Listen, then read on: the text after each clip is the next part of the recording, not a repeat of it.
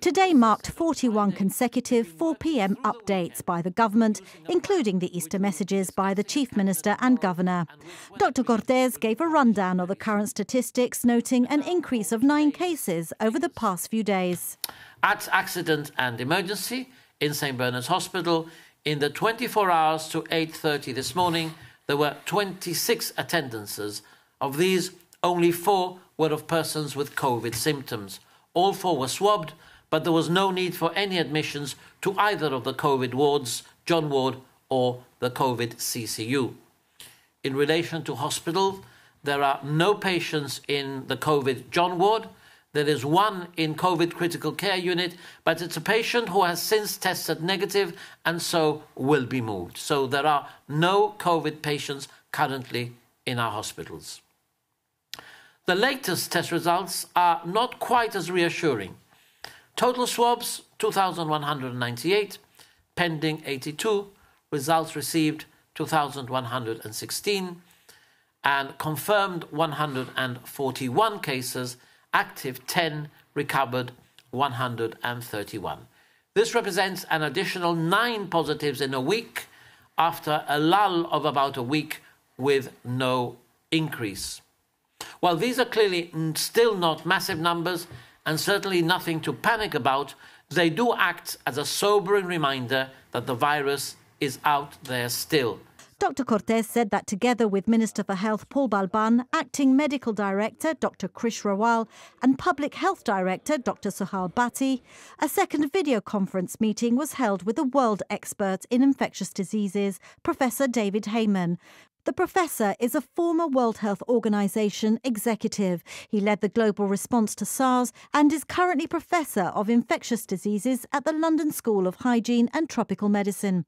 Dr. Cortes said they discussed current developments and Gibraltar strategy. Professor Heymann was complimentary about the steps that we've taken in Gibraltar and our successful strategy so far.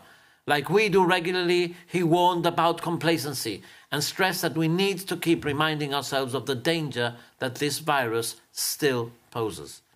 This is something that the government has very much in mind as it discusses and considers next steps. Rest assured that every aspect is being considered based on public health advice and conscious of the need of getting our lives and our economy back on track as soon as it is safe to do so. Dr. Cortes said that in his department, the Ministry for Culture, they've already been looking at reopening areas they've been pausing, such as museums, libraries, and exhibitions, adding they'll be speaking to dance schools in the coming weeks. In answer to GBC questions as to what the government's exit strategy from lockdown will be, Dr. Cortes was emphatic. Okay, I think that, that it's clear. I mean, whenever I get the daily results, I want them to be as low as possible. So I think that um, our strategy must be keeping numbers low. Um, how we develop our lockdown policy will take that into account. We know how to trap it. We know how we can stop the virus. Uh, we've been quite successful so far. Let's keep on at that. So that is the strategy at the moment. Civil Contingencies Coordinator Ivor Lopez gave a summary of all the work done by the various agencies in getting Gibraltar ready for the pandemic. He repeated the FCO's travel advice for Spain that people should not move from Gibraltar into Spain unless they hold residency there. This, he said, had also been tightened up.